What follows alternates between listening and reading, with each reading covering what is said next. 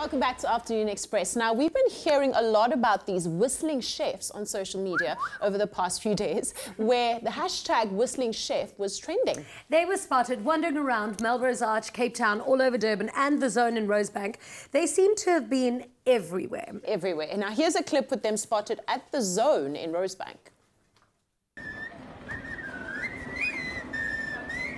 Oh my god, what's happening?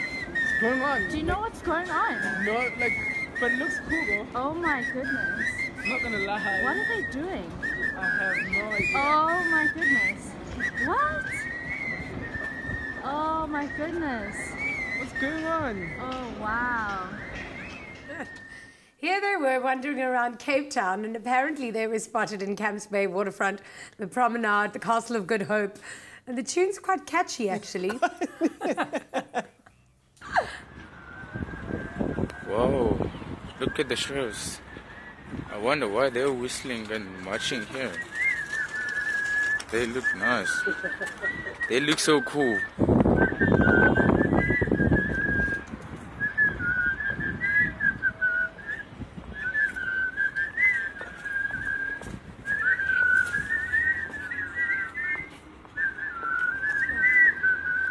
Jeez, that's a lot of whistling, a lot of sore cheeks. Well, that certainly looks interesting, and I wonder what it's all about. Do you have any clue what it's I have about? no Jess? idea. Now, rumor has it that it's something big happening at Melrose Arch tomorrow at around midday.